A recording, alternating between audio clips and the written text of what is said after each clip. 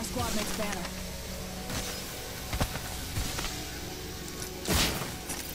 Taking the lead. Catching up.